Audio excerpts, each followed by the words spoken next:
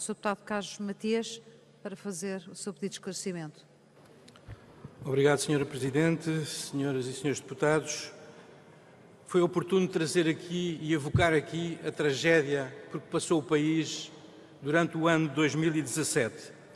Sempre dissemos que a recuperação iria exigir um esforço muito prolongado, porque os danos também foram muito fundos.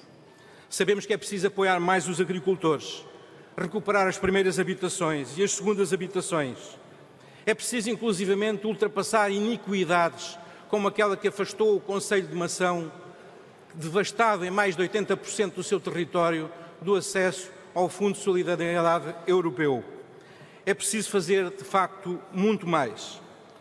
Mas quando a senhora deputada fala em enfraquecimento dos serviços do Estado e que o Estado falhou, eu fico sem saber se estava a referir aos anos e anos de enfraquecimento dos serviços de Estado promovidos pela direita e, em particular, por governo do PSD e do CDS-PP. A senhora deputada estava a referir-se ao enfraquecimento dos serviços do Ministério da Agricultura, do ICNF, que hoje estão incapazes de responder, hoje estão incapazes de responder por falta de recursos às solicitações dos produtores florestais, às solicitações dos conselhos diretivos dos baldios. E essa responsabilidade, as senhoras são os principais responsáveis desse enfraquecimento e dessa incapacidade de resposta que hoje o Estado está a revelar. Depois, quando a senhora deputada fala do, do, do, abandono das reformas descentralizadoras, fico também sem saber se a senhora deputada se está a referir à reforma descentralizadora em curso, acordada entre o PSD e o Partido Socialista. É contra essa reforma que a senhora deputada se está a referir ou contra outra qualquer? É que ficamos sem saber. Finalmente, queria referir-me uma sequela que este ano irrompeu nos, ter nos territórios devastados que é o ressurgimento de milhares de milhões de eucaliptos, verdadeiros tapetes de massa vegetal que cresce de uma forma absolutamente desordenada e que, se não forem arrancados no muito curto prazo, vão constituir uma massa vegetal enorme que vai alimentar novos e futuros incêndios, que serão absolutamente inevitáveis. Impõe-se uma medida de emergência hoje, que é começar a arrancar esses eucaliptos.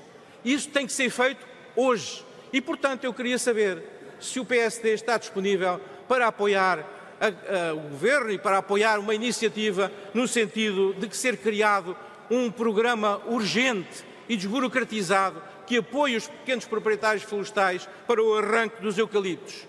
E, finalmente, uma vez que arrancados os eucaliptos é preciso reconstituir a floresta de uma forma ordenada e é preciso plantar apoiar a plantio de floresta autóctone, queria saber se hoje, ao contrário de 2016, quando o PSD votou contra o apoio aos produtores florestais que Sr. fazem a plantação. Deputado, eu vou terminar. desatenção da mesa, o Sr. Deputado já ultrapassou largamente. Ultrapassei?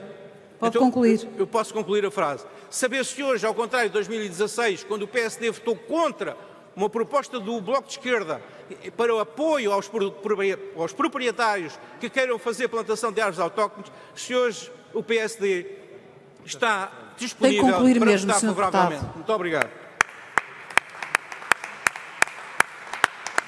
Senhora